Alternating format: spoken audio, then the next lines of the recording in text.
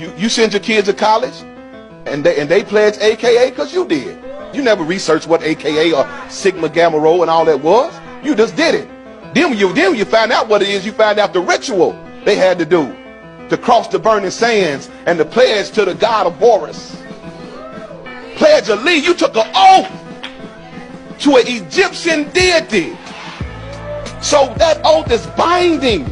You cannot receive Christ with that oath. You have to renounce that oath. But they won't renounce the oath because they have pride in the fraternity. Everybody's in some kind of secret society where they pledge, outright pledge allegiance to other spirits. Lock up!